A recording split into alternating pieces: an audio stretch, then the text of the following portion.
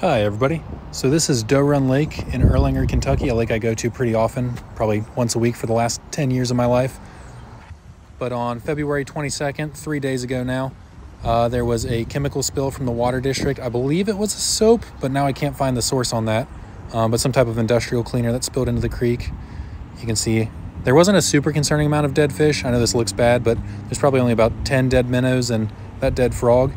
Um, but what was concerning is I didn't see any live fish, which normally in this creek I see fish every time I go walk through here. At the end of this, I actually have a clip I filmed a couple years ago when everything was healthy and moving. But yeah, there was no fish swimming in the creek that I saw, which is pretty unusual. Even in, when it's colder part of the year like this, I almost always see a school of creek chubs, a couple sunfish darting around. But yeah, this was uh, a few years ago here in the same creek where everything was healthy and thriving. But yeah, they did confirm there was a chemical spill, uh, but that's about all they've done. So if anybody has any more information, please leave it down in the comments for me. Thanks for watching.